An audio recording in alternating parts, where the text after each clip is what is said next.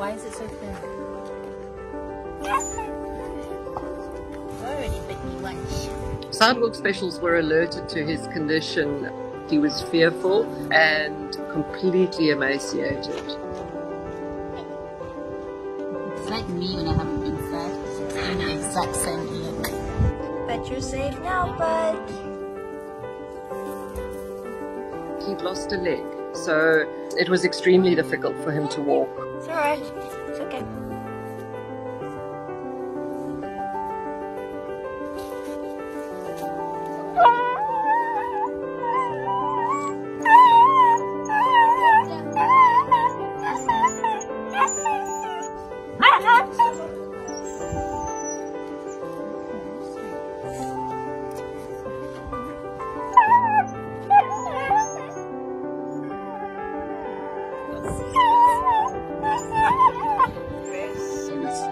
Extremely weak, extremely, extremely weak.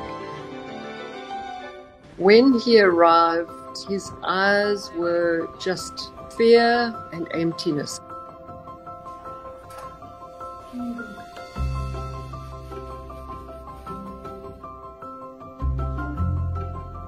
It was after two weeks, he wagged his tail for the first time. His eyes started softening.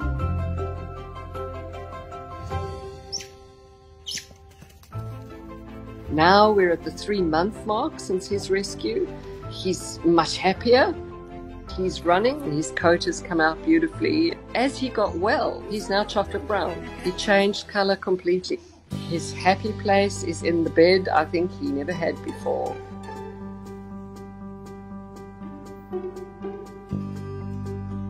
Second happy place is definitely the creek in the park.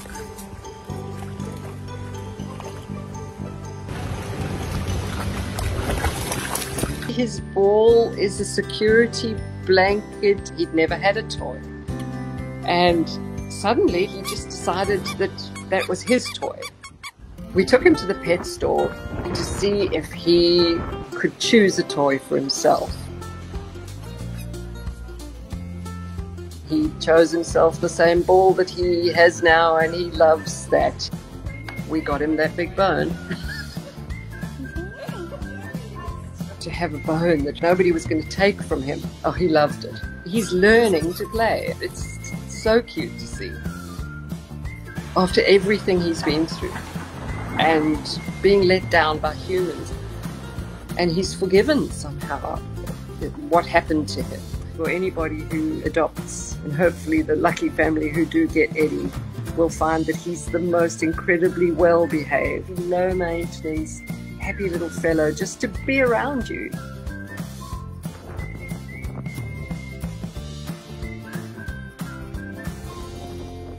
Bye.